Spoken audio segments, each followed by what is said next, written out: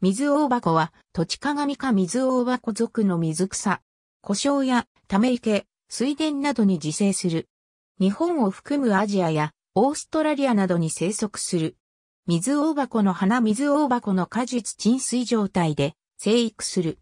葉の大きさは5から40センチメートルと環境によって変異が大きく、水深が深いところの方が大型化する傾向にある。また染色体数にも多様性があり、2倍体から12倍体まで知られている。夏から秋にかけて水面に花茎を伸ばし、3枚の丸い花びらを持つ光色がかった白い花をつける。花は1日花。基本的に花茎1本から1つの花しかつけないが、1本の花茎から複数の花を開花させることもある。幽髄は3から6本の、死髄は6本で共に、黄色で一塊にある。花が咲き終わると花茎は短縮し、水中に没するが、種子が熟すると、再び水面に出て、ここで果実は散裂し、水面に種子を散布する。不栄養の浅い水域に多い。かつては水田における主要な水田雑草の一つであった。しかし、水田の環境変化、及びため池の埋め立てや水質汚濁などにより、生息数は激減している。なお、田んぼビオトープなどで水田環境の回復を図っている場合、往々にして復活する。個体変異、環境による変異が大きく、分類はやや混乱した。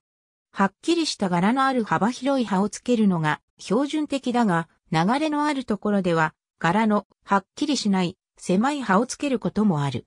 蒸気のように水深の深いところで大型化するので、かつてはこの大きさの違いによって大水大箱と区別されることもあったが、現在は同一の種と考えられている。また、家計に花がつくところ特徴の違いにより、花を複数つける個体をセタカ水大箱として別種とすることもあるが、これも葉の形と同様、形態変異の一つと考えられている。ジャオン、X2010、アテリアアリスモーデス、イン、IUCN2011、IUCN レッドリストオブセレクトンドスピーシーズバージョン2011.1 www.iucnredlist.org ダウンロダドン12オクトーバー2011環境庁自然環境局野生生物化編改定日本の絶滅の恐れのある野生生物八植物愛財団法人自然環境研究センタ